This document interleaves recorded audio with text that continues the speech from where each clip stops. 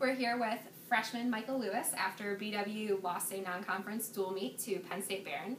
Michael, uh, last night and today you set a pool record in the 200 IM and the 400 IM. How do you feel about your early success so far in your freshman campaign? Honestly, I'm kind of shocked on how I'm swimming because I've never been like this decent at this point of the season, but I don't know, I'm ready to do it.